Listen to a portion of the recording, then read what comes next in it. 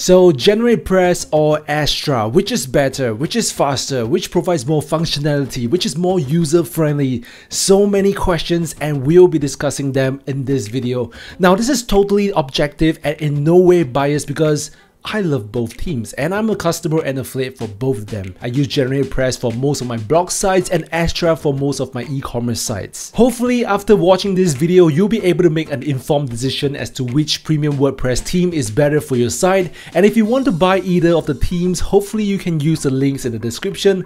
Those are my affiliate links and if you use them, thank you so much. I truly appreciate your support for this channel and as a way to say thank you, I will be sharing with you my free personal brand website video series created created entirely with GeneratePress and I'll be doing more training on Astra as well. So if you'd like to get the video series and more free training from me, you can send me an email at this address. Also, do stick with me to the end of the video because I'm sure you'll be interested in learning how to speed up your WordPress website. I have 9 tips for you and I'll share them with you towards the end of the video. Now, to make a fair comparison and show you why one is better than the other in certain aspects, I'll be building up two websites from scratch. The one on the left will be built with GeneratePress and the one on the right will be built with Astra and I will make them look like this.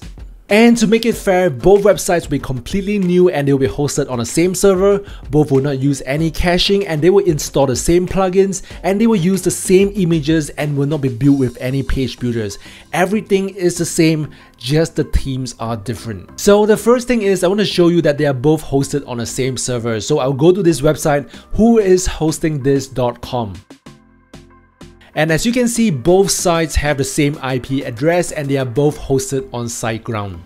I've installed WordPress on both of them and they look exactly the same. So this is our starting point and I will fast forward this so you won't be wasting an hour watching me build these sites. If you are interested in knowing how I built this site from scratch using GeneratePress and got a 95 rating on Google PageSpeed Insights, you can check out this video right here. I've left the link in the description as well. But don't watch that now, watch it after this video, okay? So let's go.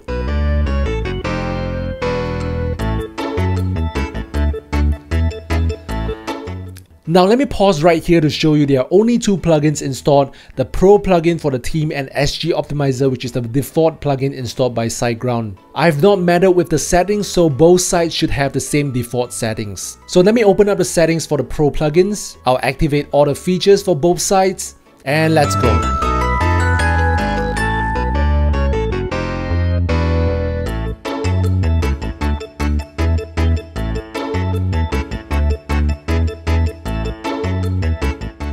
Now one more plugin that I've installed is the Ultimate Add-ons for Gutenberg. This is a free plugin that will allow you to create blocks just like the one you use in page builders but this will not slow down your site and this makes a whole lot of difference. So let's go again.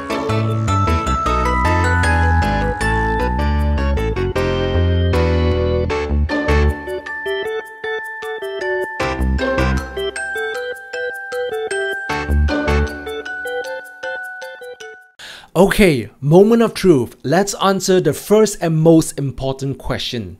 Which theme is faster?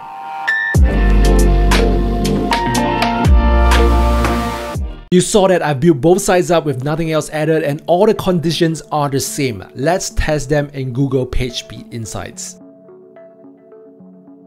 So as we can see here, GeneratePress is showing better results than Astra in terms of speed. The default file size for a blank Astra theme is 50 kilobytes and for a GeneratePress it is only 10 kilobytes. So if speed is your main concern, then we have a winner here. Now, let's be objective here. Though GeneratePress wins in speed, it doesn't mean that Astra is inferior. In fact, if you compare the functionality and user friendliness, I think Astra wins hands down.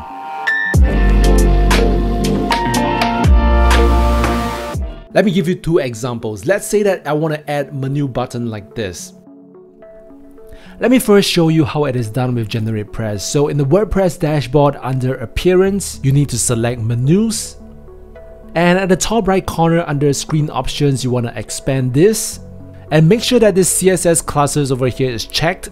So once this is checked, if you go down to your menu item and expand it, you will see this CSS classes You'll want to give this menu item a name. Now this name needs to be used in the CSS code later on. And if you don't understand CSS and codes, you will have a hard time using GeneratePress. But anyway, to change the menu item into a button, we need to click on customize under appearance. And take note over here, we want this to be a button. So what we need to do is to click on additional CSS and we need to paste a code like this in there and immediately you will see this changed. And this menu button over here, this is the name we assigned for the menu item just now. If you want to change the color of this button, this is the color code for the border and this is the color code for the text. As I said, it is not user friendly or beginner friendly. Now let me show you how the same is done with Astra. So from the WordPress dashboard, you need to click on customize and under header, primary menu and last item in menu, you want to change this to button and you'll see a separate button appearing here. You can remove this get started menu item here. And then you can add the button link. And if you want to customize the color and style of the button, you can change this button style to header button and you will see all these button options here. You can click on this edit buttons, it's relatively easy to edit and all the changes will be reflected immediately. Like for example, if you want to change the color, you just need to click on this and change the color and you will see over here, the color of the button changes. So it is that simple with Astra. Now let me give you another example. Let's say you want to add a page header right after the menu like this. With Astra, all you need to do is to hover to appearance and click on page headers and then you want to add a new page header. Give this page header a name. Select the layout, select the background color and play around with all these settings here. And then you select display rules and I'll display this post header on all the posts. So I'll select all posts and then I'll publish this. And if you visit a post, you'll see the page header over here. So it's relatively easy for you to customize a page header with Astra. Now let us see how it works on GeneratePress. With GeneratePress, they use something called elements, so you need to hover to appearance and you need to select elements. Then you need to click on add new element. Then you need to select header, create, give this element a name. I'll put in this post title here, change the background color, the text color to white, change the padding, and then select the display rules and then I will choose all the posts and then I will publish this.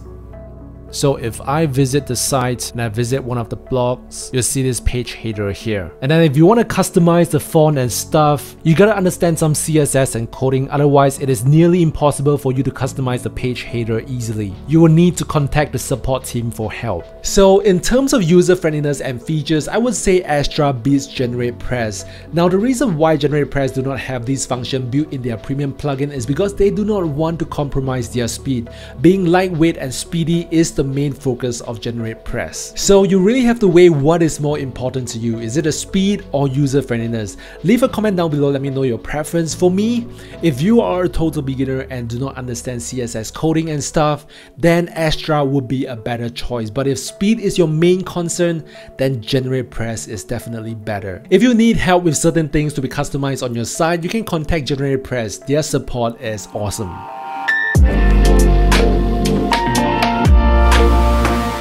Now in terms of support, depending on how complicated your questions are, both Astra and GeneratePress will usually reply within 24 hours. Both do not have live support and both have documentations where you can refer to. For Astra, this is the link and for GeneratePress, this is the link. Now Astra support uses the ticket system while GeneratePress uses the forum style support. Personally, I prefer the forum style because usually I do not need to contact the support. After all, they have probably answered the same question on the forum. This way I can solve my problems much quicker. That's the advantage of having an open style support system. But of course, due to the lack of functionality of GeneratePress, sometimes we still have to contact the support and they are really good at understanding your questions if you provide a visual representation. The same goes for Astra. So in terms of support, this is a tie. Now let's talk about integrations.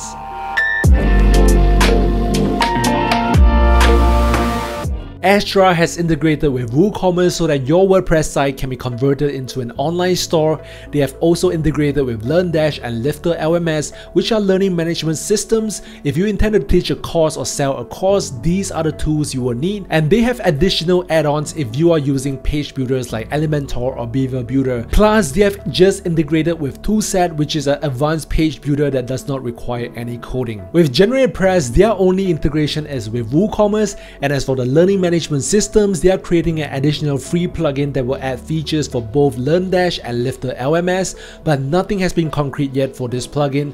In my opinion, GeneratePress wants to maintain the most lightweight WordPress theme because if you do all these theme integrations, it will increase the file size of the theme and could slow down the theme performance. So in terms of integration, I would say Astra is much better at this. By now, you should see that both theme developers have different focus. Astra is more focused on user friendliness and then speed is their secondary priority, while GeneratePress focuses on speed first and then the user friendliness. With that said, even without integration, both Astra and GeneratePress should generally work with any other WordPress plugins.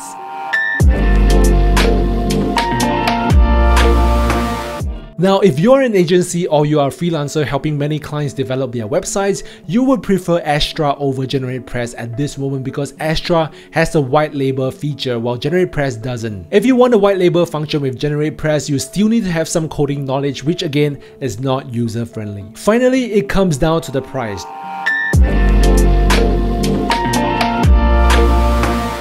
GeneratePress only has one pricing plan. You can either go yearly costing $59 or getting the lifetime plan for $249. With Astra, there are three plans. Astra Pro which is compatible to the GeneratePress Premium and it costs $59 as well and the lifetime membership costs the same as GeneratePress. If you use Elementor or Beaver Builder, you can get the mini agency bundle for $169 per year and they have a plan specifically for agencies that cost $249 per year. So if you want to get either of these themes, you can check out the links in the description. I will always update these links with the latest deals and discounts.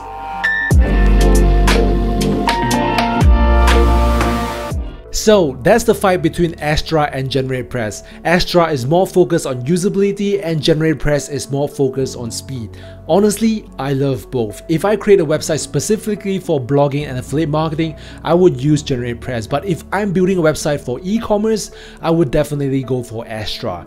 That's what I would do. I hope this comparison is good enough for you to make a decision and let me know in the comment section if you prefer speed over usability or it's the other way around. And do me a little favor, can you smash that thumbs up button for me? I really appreciate that. Also, as promised, I want to give you 9 tips to help you speed up your WordPress website dramatically. So if you have site speed problems, I hope this video on the right can help you improve your site speed rating. And even if you're totally new to building a WordPress site, this video will help because no matter what, as your site grows, speed issues will surface. And this video will help you minimize those problems. Thank you so much for sticking around. You're awesome and I'll see you in the next video.